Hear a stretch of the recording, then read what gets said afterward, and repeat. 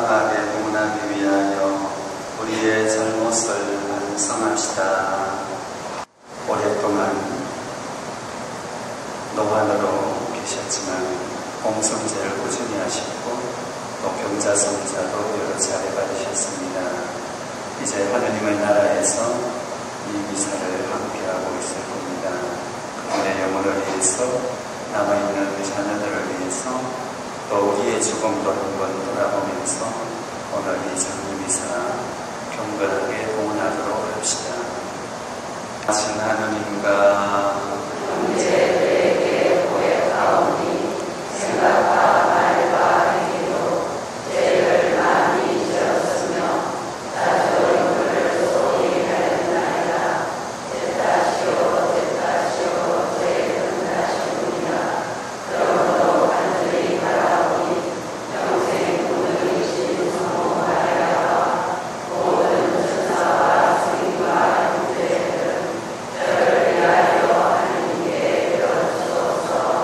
자비를 베푸소서 기도합시다.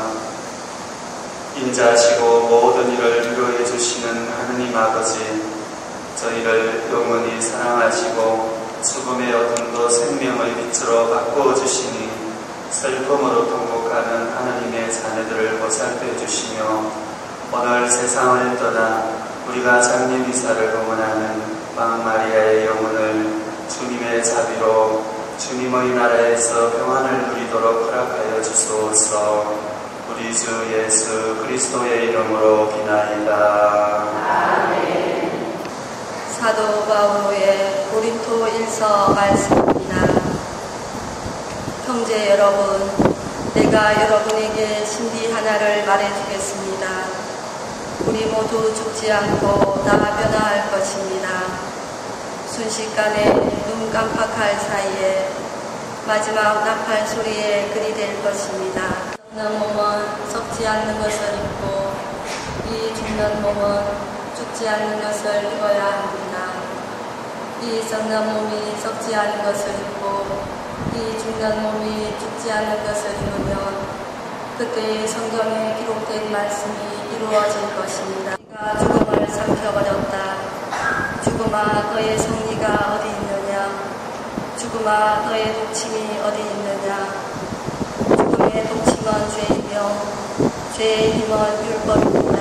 주 예수 그리스도를 통하여 우리에게 승리를 주시는 하나님께 감사드립시다. 주님의 말씀입니다. 성가 50장 1절부터 3절까지 부르겠습니다.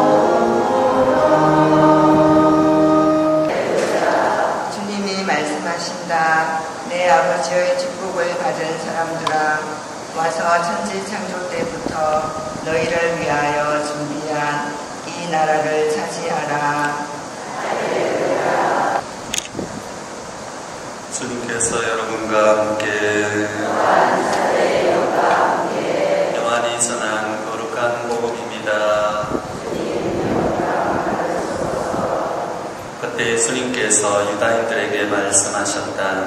내가 진실로 진실로 너희에게 말한다. 내 말을 듣고 나를 보내신 분을 믿는 이는 영생을 얻고 심판을 받지 않는다. 그는 이미 죽음에서 생명으로 건너갔다. 내가 진실로 진실로 너희에게 말한다. 죽은 이들이 하느님 아들의 목소리를 듣고 또 그렇게 들은 이들이 살아날 때가 온다. 지금이 바로 그때다. 아버지께서 당신 안에 생명을 가지고 계신 것처럼 아들도 그 안에 생명을 가지게 해주셨기 때문이다. 아버지께서는 또 그가 사람의 아들이므로 심판을 하는 권한도 주셨다. 이 말에 놀라지 말라. 무덤 속에 있는 모든 사람이 그의 목소리를 듣는 때가 온다. 그들이 무덤에서 나와 선을 행한 이들은 부활하여 생명을 얻고 악을 저지른 자들은 부활하여 심판을 받을 것이다. 주님의 말씀입니다. 오늘 우리는 세상을 떠나신 박혜선 마리아 할머니의 장례미사를 봉헌하고 있습니다. 96세로 순종하셨습니다. 100년 가까이 이 땅에서 사셨죠. 옛 풍습대로 어린 나이에 혼인하셨고 그리고 장부와 자녀들을 위해서 평생을 헌신하신 분이시죠. 그리고 노안을 맞이하셨어 자리에 눕게 되셨지만 늘 반듯한 모습이었습니다. 병자 성사도 받으시고 또 우리가 공성치 않은 날이면 꼭 들립니다. 자리에 앉으셔서 성체를 보시던 그 모습이 눈에 선합니다. 자신보다는 가족을 위해서 자녀들을 위해서 정말 평생을 사신 분의 모습이 역력했습니다. 순간까지 고운 자태를 유지하셨죠. 평소 그렇게 살아왔셨기 때문에 가능한 겁 평소 반듯한 모습으로 산 사람은 마지막에 가서도 그런 모습을 지니는 것이 하늘이 내려주는 은총일 겁니다. 우리 마리아 할머니의 그런 연세를 지니신 분들은 모두가 비슷한 삶을 사셨을 겁니다. 어린 나이에 군인하시고 평생을 남편과 자녀와 가족을 위해서 헌신하는 삶이라고 할 수 있습니다. 그러면서 우리 역사에 참으로 아무랬던 시기를 사셨던 겁니다. 우리가 자유롭고 편리하고 안락한 생활을 하고 있지. 바로 우리 이때에 이런 어르신들은 일본 강점기에 고통스러운 시기를 젊은 나이에 지내셨습니다.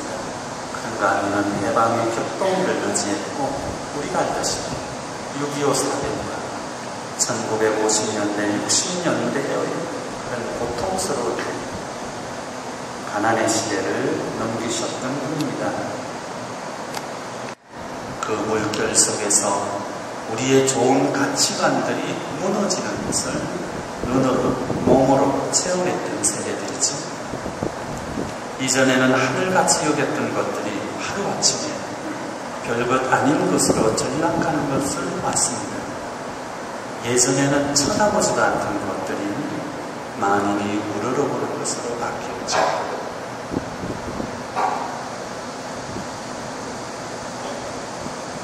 진양호 밑에 이 허허 벌판들이 이렇게 금사람이 땅으로 바뀌는 것을 눈으로 보면서 몸으로 체험하면서 어떤 생각을 했을까요? 이 세상이 영원히 살 것이 아니라는 것을 어쩌면 깨달았을 겁니다. 모든 것이 변하고 잠시 지나가는 것이라는 것도 공성제를 하시면서 그 수많은 시간 동안에 많이 묵상하고 기도하셨을 겁니다. 이제 하나님의 나라로 가셨습니다.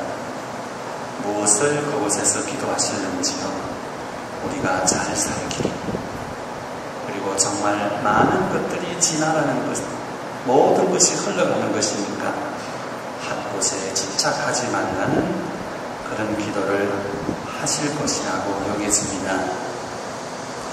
정말 이 세상에 사시는 동안 마리아 할머니에게 부족한 것이 있었다면 주님께서 자비의 은총을 내려주시기를 우리가 기도해야겠지요. 어떤 형태로든지 슬픈 겁니다. 가족들에게는 아쉬움이고 자녀들에게는 못다한 미련이 남을 겁니다. 그렇지만 우리는 기도합니다. 마리아 할머니의 영혼이 안식을 누리기를 남아있는 우리도 우리 역시도 똑같은 길을 앞으로 걸어갈 것이라는 것을 오늘 우리는 생각하는 것이지 부족한 것이 많은 세상입니다. 다시 한번 우리는 오늘 이 장례 미사를 봉헌하면서 용서하고 자비를 베풀 수 있는 주님의 도심을 청하면서 또 하늘나라에서 마리아 할머니께서 그런 마음가짐을 갖는 우리를 위해서 기도해 주시기를 청하는 것이죠. 우리 모두의 아버지십니다. 주님께서는 인간이 행복하게 살기를 바라십니다. 우리 역시도 평생을 행복하게 살기를 바랍니다. 사랑하는 내 자녀들이 당당하고 행복하게 살기를 모든 부모들은 원할 겁니다. 그래서 투자하고 밀어주고 투자하고 밀어주는 것이 너무 물질적인 것에 한정되는 것이 오늘의 현실입니다. 물질 뒤에 영적인 모습이 있구만 그것을 잊어버리지 좋은 성격을 가지고 넓은 마음을 가지고 그렇게 해야만 이 복잡한 현실에서 건전하고 건강한 모습으로 살아갈 수 있는데 그것을 잠시 잊어버립니다. 오늘 우리는 의롭게 살다가 한 영혼을 위해서 이 미사를 봉헌합니다. 하늘나라에서 정말 하느님의 어떤 힘을 우주의 어떤 에너지를 우리 젊은 세대들을 기억하면서 보내주시라고 그렇게 기도해주는 후원자를 오늘 우리는 한 분 얻는 것이죠. 이 미사를 봉헌하면서 다시 한 번 어머니를 위한 자녀분들은 이제 어머니를 떠나보낸 것이 아니라 가슴 속에 다시 모시게 되었다. 우리도 언젠가 짧지 않은 시간이지만 그 시간이 지난 뒤에 어머니를 다시 만날 것이라는 것. 그래서 좀 더 베풀고 좀 더 모든 것들을 좋은 쪽으로 생각하면서 잘 살아갈 것 한번 다짐해봐야겠습니다. 하늘나라로 가신 마리아 어머니의 위해서 살아있는 우리 모두를 위해서 경건하게 기도하면서 밖에서 마리아의 장례미사 열심히 봉헌하도록 합시다. 우리를 통하여 이미 영원한 삶을 시작한 죽은 박기선 마리아가 영원히 성인들의 대열에 들도록 청하오니 주님 저희의 기도를 들어주소서 그리스도의 몸을 영원한 생명의 양식으로 받아 모신 죽은 박기선 마리아가 마지막 날에 모든 이와 함께 부활하도록 주님께 청하오니.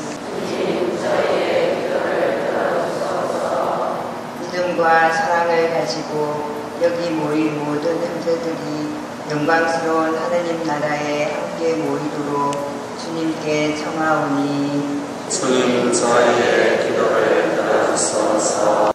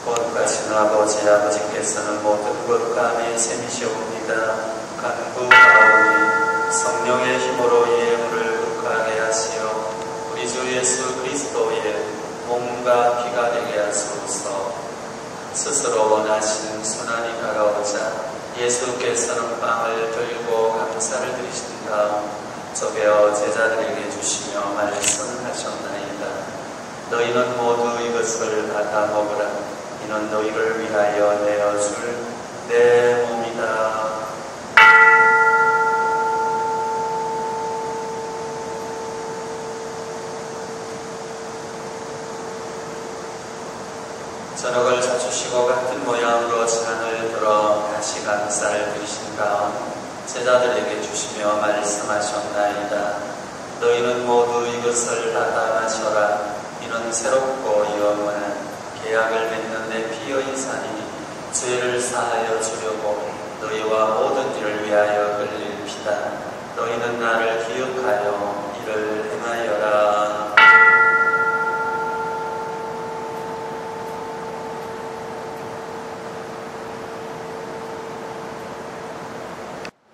아버지 저희는 그리스도의 죽음과 부활을 기념하며 생명의 빵과 구원의 잔을 봉헌하나이다. 또한 저희가 아버지 앞에 나와 봉사하게 하시니 감사하나이다. 간절히 정하오니 저희가 그리스도의 몸과 피를 받아보시어 성령으로 모두 한 몸을 이루게 하소서. 세상에서 흘러가시는 주님의 자녀 아께선 마리아를 생각하소서. 그는 세례를 통하여 성자의 죽음에 동참하였으니 그 부활도 함께 누리게 하소서. 부활의 희망 속에 고이 잠든 교우들과 세상을 떠난 다른 이들도 모두 생각하시어 그들이 주님의 빛나는 얼굴을 배우게 하소서. 하느님의 자녀되어 세주의 군부대로 삼가 아래오니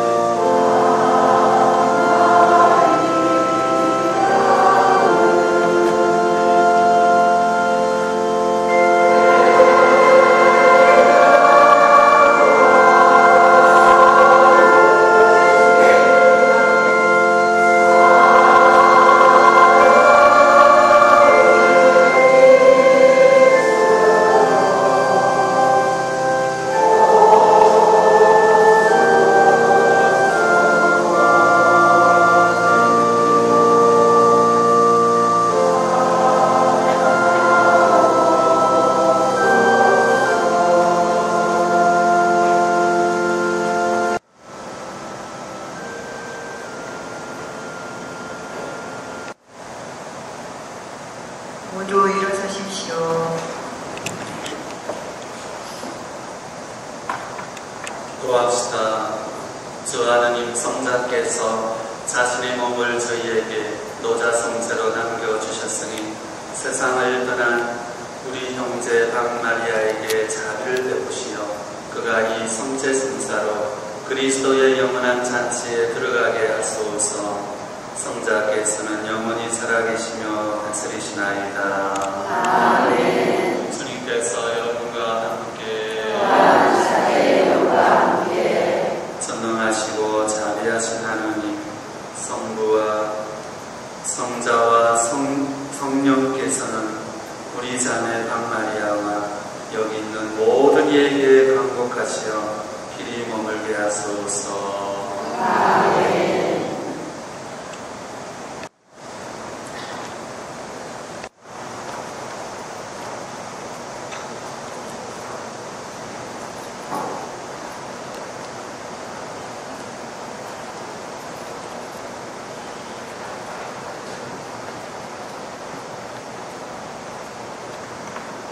우리의 관습대로 이 육신을 땅에 묻으려고 합니다. 하느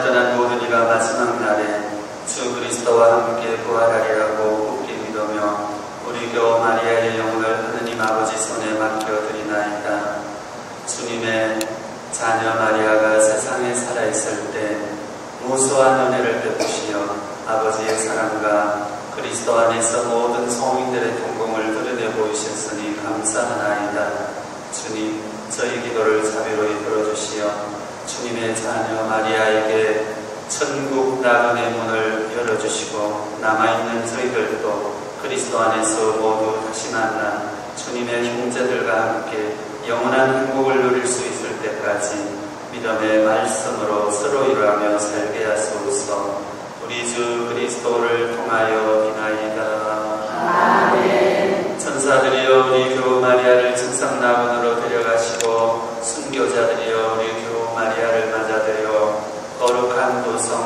천상 예루살렘으로 인도하소서.